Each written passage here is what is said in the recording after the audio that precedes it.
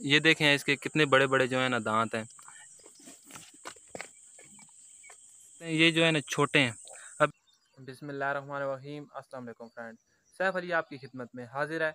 उम्मीद करता हूँ कि आप खैर वाफियत से होंगे।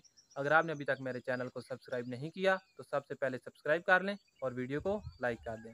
तो चलिए दोस्तों, शुरू करते हैं आज का ब्लॉग दोस्तों, जब मैं सुबह उठा तो मुझे बहुत ही एक जो है ना अच्छी न्यूज़ मिली है गुड न्यूज़। तो वो आपसे सबसे पहले शेयर कर लेते हैं और फिर आगे का सफ़र शुरू करते हैं। ये जी दोस्तों, आज की गुड न्यूज़ देखें, रात को बहुत जो है ना बारिश हुई है। सुबह मुझे पता चला है। तो देखें, खेतों में कैसे पानी खड़ा हो गया है। और मौसम भी बहुत ही प्यारा है। ये आप देख सकते हैं। तो चलिए दोस्तों, चलते हैं मेन टॉपिक की तरफ़ अपने।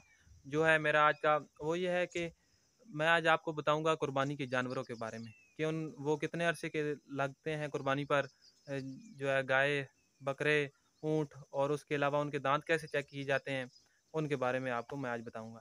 ठीक है? तो चलिए शुरू करते हैं बकरे से। बकरा एक साल का कुर्बानी पर लग जाता है, लेकिन एक साल का दौन नहीं निकालता। क्या शायद निकाल जाते हों कुछ, लेकिन हमने आज दिन तक जो भी रखे हैं, किसी ने नहीं निकाले। हमारी किस्मत है। उसके अलावा बैल के बता, बैल का मैं बताता हूँ।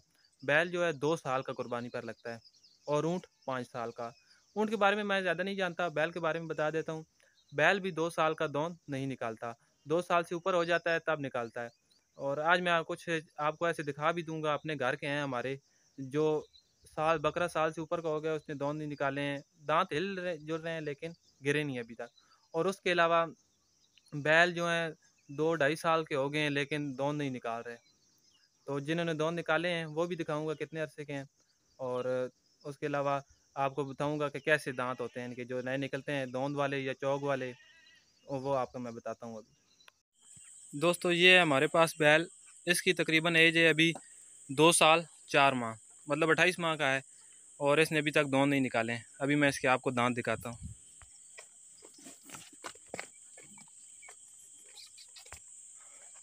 दांत देखने थोड़े मुश्किल होते हैं, लेकिन ये देखें, अगर ऐसे दांत हो ना मतलब सारे बराबर हों दो बड़े। तो फिर ये खीरे होते हैं, खीरे। अभी ये खीरा है, फिर अभी मैं आपको दौंदे भी दिखा देता हूँ। वो दांत कैसे होते हैं? वो दरमियान वाले जो दांत होते हैं ना, वो थोड़े बड़े होते हैं।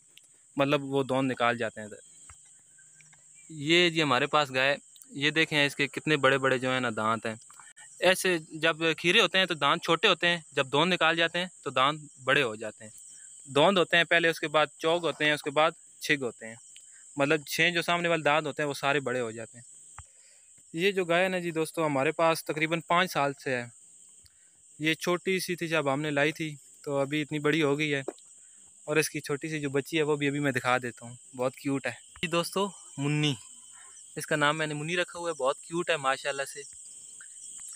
दोस्तों, ये तकरीबन है अभी एक माह की।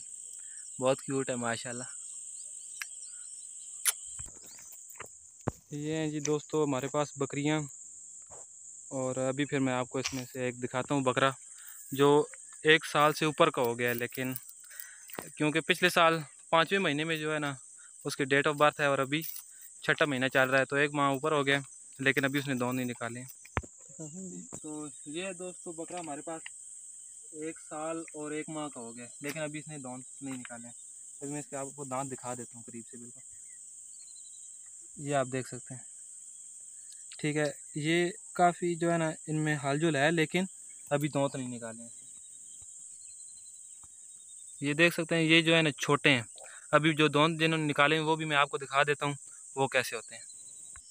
दोस्तों, ये हमारे पास बकरी इसने जो है ना दांत निकाले हुए हैं, और अभी मैं इसके दांत आपको दिखा देता हूँ कैसे हैं। ये आप देख सकते हैं, ये वो जो पहले दिखाया था, उसके दांत छोटे छोटे थे मतलब वो खीरा है। इसके दांत बड़े हैं मतलब धोंदा है। ठीक है? अगर अगर इस वीडियो में अगर किसी को कुछ खास जो है ना समझ नहीं आई है तो वो कमेंट में मुझसे पूछ सकता है। इसके बारे में और भी इंफॉर्मेशन हासिल कर सकता है। हम बताने के लिए तैयार हैं। तो ये थी मेरी आज की छोटी सी वीडियो, क्योंकि जो सीज़न अभी चल रहा है, वो जो है इसी बारे में चाह रहा है तो मैं सोच रहा था कि आपको भी इससे आगाह कर दूँ कि कैसे चेक करते हैं। कुछ लोगों को तो पता होगा ज़्यादातर, लेकिन कुछ को इसके बारे में मालूम नहीं होता। तो मैंने सोचा आपको आगाही दे दूँ, क्योंकि हमें मालूम है तो अगर वीडियो पसंद आई हो तो लाइक कमेंट शेयर ज़रूर कीजिएगा। ना भी आए तो कर दीजिए। और उसके अलावा सब्सक्राइब करना बिल्कुल भी नहीं भूलना है। बेल आइकन के बटन को ज़रूर दबा दीजिए ताकि मेरे आने वाली हर नई वीडियो का नोटिफिकेशन आपको टाइम पर मिल जाए। दुआ में याद रखिएगा। मिलते हैं नेक्स्ट वीडियो में। तब तक के लिए अल्लाह